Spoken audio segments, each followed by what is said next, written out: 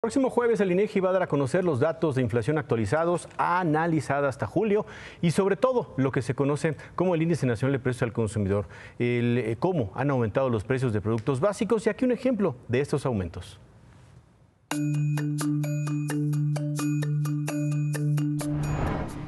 Dicen los expertos que aún no vivimos el pico de la inflación pero la cebolla blanca es el claro ejemplo de cómo un producto de la canasta básica, al incrementar rápidamente en más de 50% su costo en lo que va del año, puede impulsar la inflación.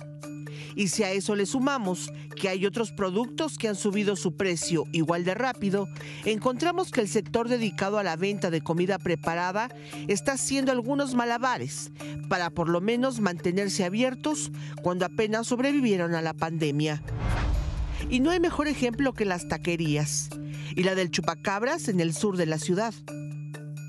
¿En cuánto está la cebolla?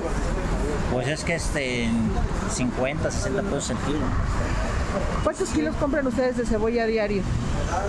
Pues que serán entre 50 y 60 kilos. Pues sí, pues es que es lo que lleva, por ejemplo, el pastor, el bistec, este, ya sabe que la cebollita picada para el suadero. ¿Han subido el precio del taco?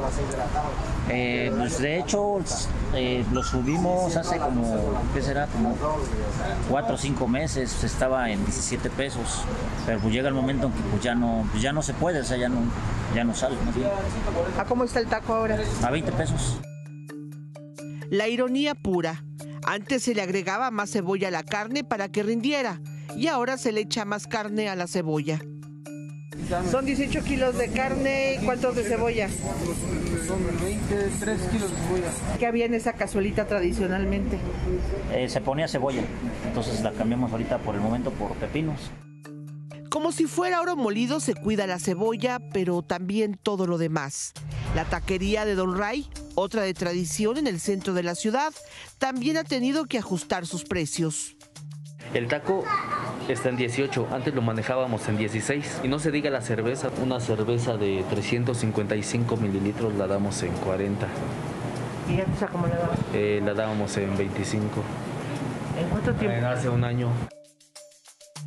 Gracias a ese incremento el personal y sueldos se han conservado, porque cada semana algunos de sus insumos suben sin previo aviso.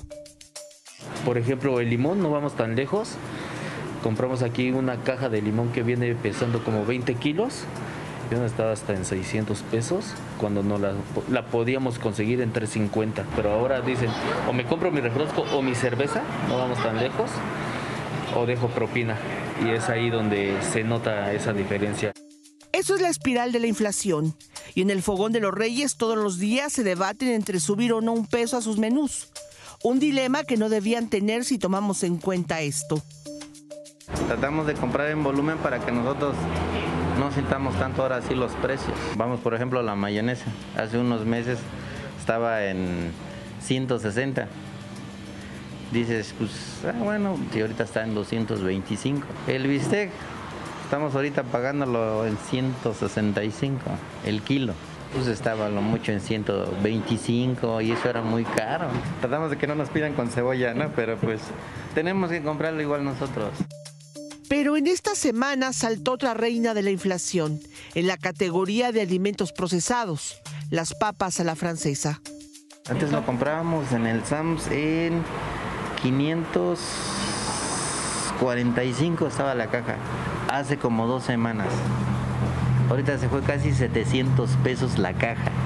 Es exagerado. Esto es la inflación.